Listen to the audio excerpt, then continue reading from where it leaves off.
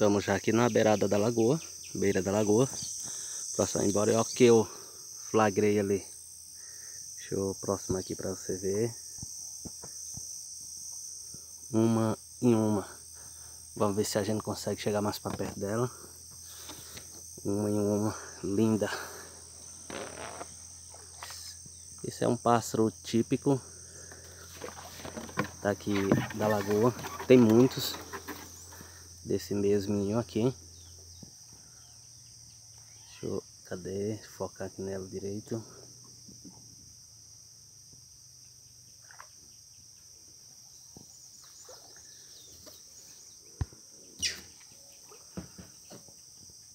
Aqui, ó. Cadê?